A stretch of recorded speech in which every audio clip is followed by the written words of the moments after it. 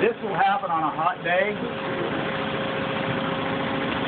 If the substrate is really, really hot and you get over 120, 130 mils, what ends up happening is, and when we come back and look at this in a little while, it'll actually be a almost burned look. It'll be, it'll, it'll be darker, it'll be brownish.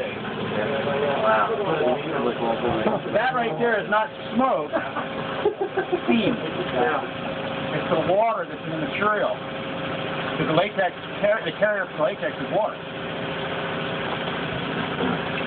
That's And you pretty can see crazy. it's just going crazy. Pretty nasty. And then you see where we sprayed over it? It'll never cure. So is that actually a bubble, or is it just filling up solid?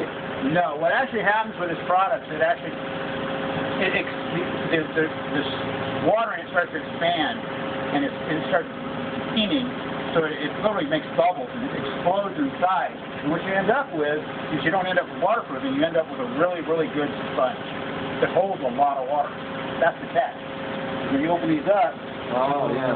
see, it, it looks just like the inside of a sponge. Well, what will happen is water will get in there and just hang out until eventually it finds a way into the filter